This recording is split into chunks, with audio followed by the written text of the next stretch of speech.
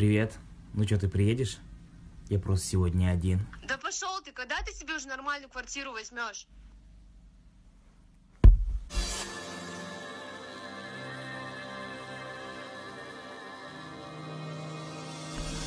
Мы казахи, кочевой и понтовый народ.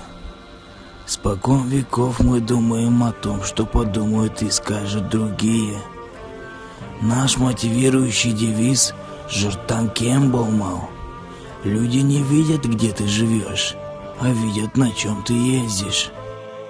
Сейчас еще кредит возьму и куплю себе номера три семерки хан. А потом можно и о квартире подумать. В ипотеку.